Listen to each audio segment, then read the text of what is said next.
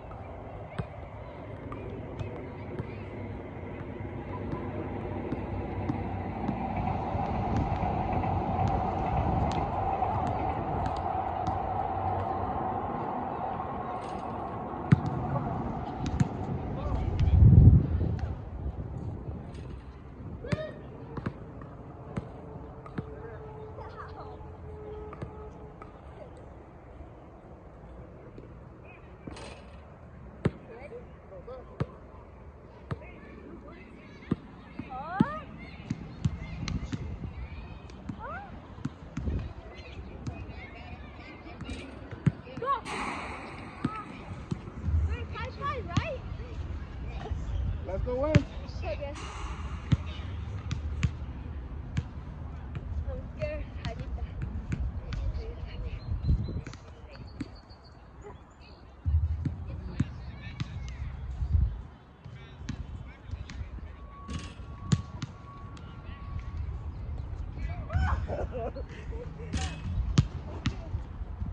leg on my hero.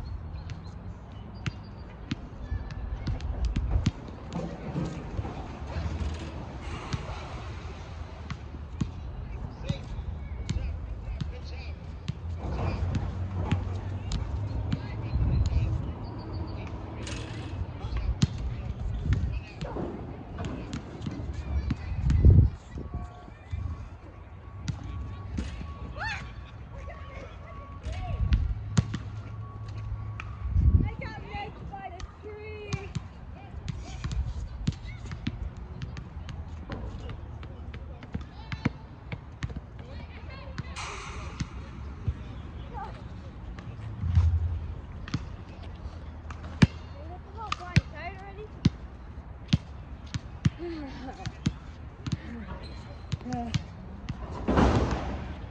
You tired?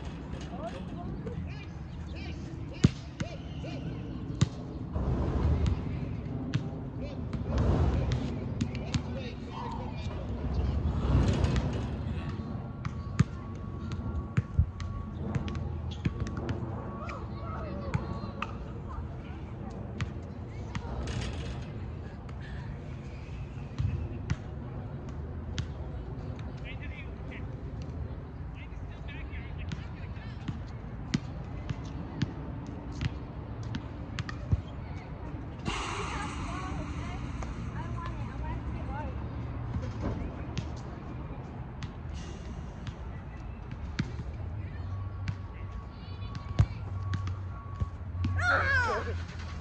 So close. Ricochet. Ah, my eyes hurt already. Nah. Yeah, go to the camera. Show your back. You stomach.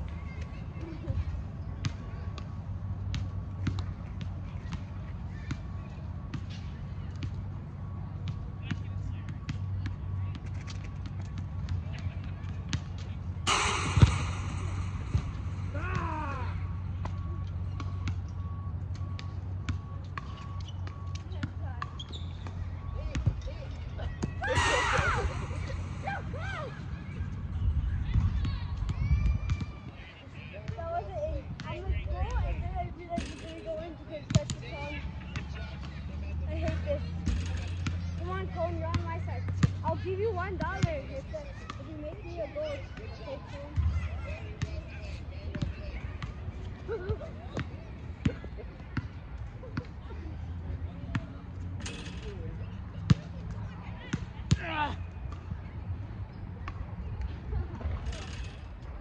Foul in the box, red card. I'm out.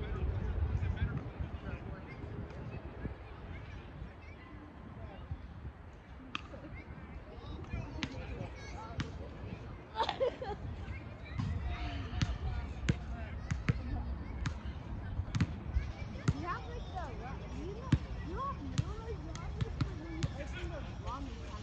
You like that ramen part when you just boil it and it turns off. You use that hard part when you open it. Stop thinking that, thank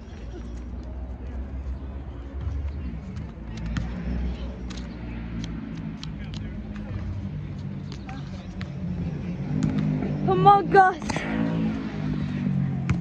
We got the loser on top. Put the camera down. Record me. Okay. Um, I guess I lost because I fouled in the box. I got a red card.